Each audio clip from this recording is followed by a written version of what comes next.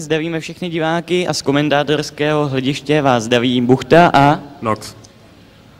Takže sledujeme finálový zápas o titul mistra České republiky ve hře Warcraft, ve kterém hraje Bongeker a kdo? A jeho protivník Krageš. Výborně, tak co by si nám o tady těch hráčích pověděl, Noxy?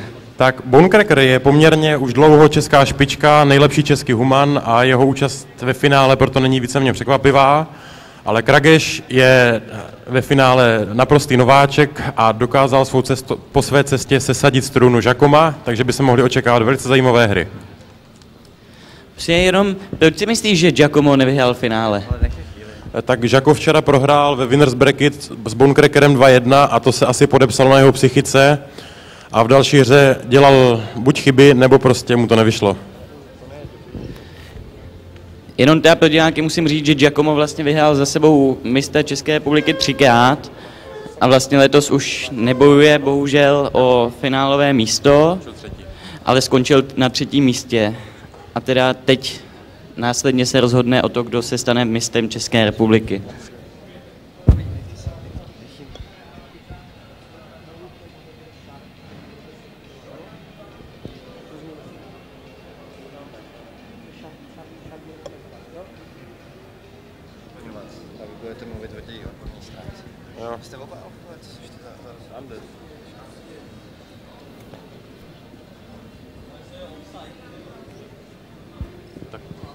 Tak i já zdravím eh, televizní diváky i diváky tady v hale D.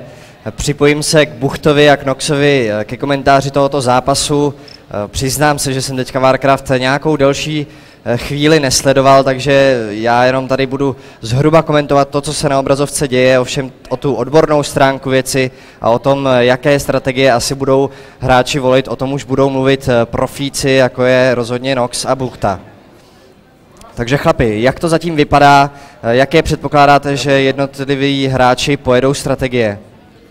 Tak na začátku oba zvolili poměrně klasický způsob creepování, kdy creepují mercenary kempy, následované malým zeleným creepem pro rychle dosažení levelu 2. Bonecracker se asi bude snažit pokračovat v creepu do až třetí úrovně arcimága, aby měl silnější elementály a, a Buchta, eh, Krageš zkusí narušit jeho creep, což bývá poměrně standardní strategie.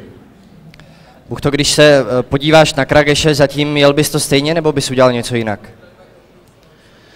No, možná bych zvolil trošičku něco jiného, ale asi, aby hráči ne, neslyšeli, co říkám, tak radši jim do toho nebudu teďka zrovna mluvit. Pravda, pravda, to jsem si neuvědomil. Eh, My bohužel televizní diváci nemůžeme úplně prozrazovat, eh, jak to, co hráči dělají nebo kde creepují, protože zápas je vysílán živě a hráči velice dobře slyší, co my tady povídáme, takže eh, skutečně půjde jenom o spekulativní komentář.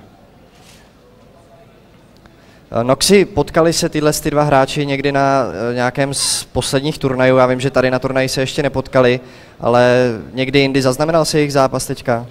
Tak, tito dva hráči se potkávají velice často například v playoff na mezihrňácích a ku příkladu poslední střetnutí Krageše s Bonkrackerem skončilo ve prospěch Krageše.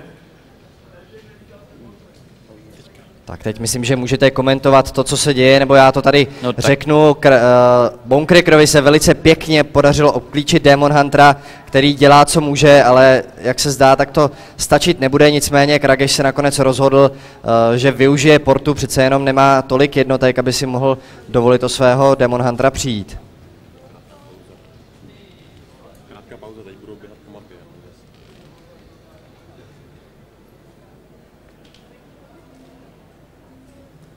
Tak, eh, Noxy, ty jsi sice undead, ale eh, s tebou budu tedy řešit eh, stránku nebo hráče Bonecrackera. Eh, Jak se ti zatím zdá jeho styl, ať už tady na turnaji nebo v tomto zápase?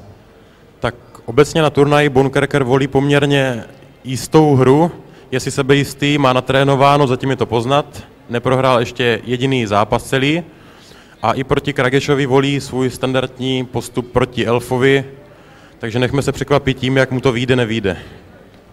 Je to, řekněme, asi v současné době nejaktivnější, ne nejlepší hráč, už eh, i před Giacomem. Eh, Má nějaké má nějaké úspěchy ve světě? Že by třeba se o něj začali zajímat, tak jak to bylo před časem od Giacoma, opravdu vyhlasné týmy? Tak Bonecracker je v současné době členem ES Multigaming týmu, což je takový evropský tým, který opravdu má ve své sestavě kvalitní hráče a Bonecracker je, dalo by se říct, jedna z jeho opor, opravdu tým podporuje a na turnajích, zápasech předvádí skvělou formu. Kroutil si hlavou, když jsem říkal, že už je možná i lepší než Giacomo, proč si to nemyslíš? Tak Giacomo je pro mě pořád jednička, protože je undead, ale myslím, že oba hráči mají v současné době přibližně srovnatelnou formu. Bonecracker hodně trénuje a je to na něm poznat.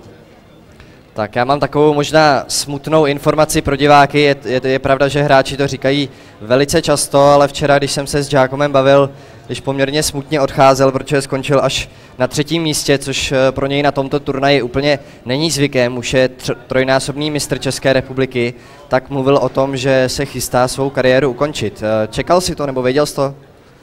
Tak já už podobné náznaky slyším delší dobu od něj, takže mě to příliš nepřekvapuje. On navíc i poslední dobou se rozhodl věnovat spíš real lifeu než hraní a jeho forma tím trošku ztrácí. Hra se teďka poměrně, eh, nebo nabíhá spát. Buchto, co se tam zatím děje? Tak teďka se děje hodně asi důležitá věc v celém zápase. Bonkeker eh, běží eh, udělat tauráž na Krageše. Za pár vteřin se tady začnou stavět věže. Ano, už se tady... A teď je vlastně rozhodující boj asi v celé hře. Pokud Bonkekovi se post, podaří post, dostavit věže, tak nejspíš asi vyhraje celou hru. A Bonkeker se snaží zabít hrdiny, klasicky. Tak se zdá, tak Krageš zřejmě tuhle tu taktiku čekal. Eh, z tvého pohledu má dobré jednotky na to, aby zvládl Tavaraš? Krageš má docela dobré jednotky a tady, když se podíváme, tak dal stavit ještě dvě věže mnohem dřív než vlastně Bonkeker, což je tak. hodně důležité. Tady jsme viděli nešťastnou situaci, kdy Krageš přišel o svého Demon Huntera a Bonecracker si už všiml rozestavěných věží, takže pomocí hrdinů a vodních elementálů se pokusí zničit před dostavěním, kdy dostávají velký damage právě od elementálu.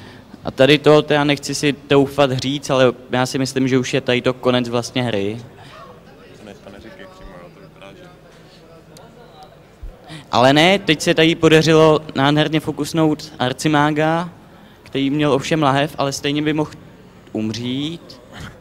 Ovšem místo toho Krageš ztrácí svého hrdinu do jeho. No, tak tohle se Kragešovi málem nevyplatilo, tam se snažil, uh, nevím jestli vrátit vyspy zpátky na těžbu a málem se tím bloknul Nagu. Tady ovšem vidíme, že Krageš již píše good game, což znamená, že děkuje svému soupeři za dobrou hru. My si po krátké reklamní pauze vrátíme zpátky do zápasu na další mapu.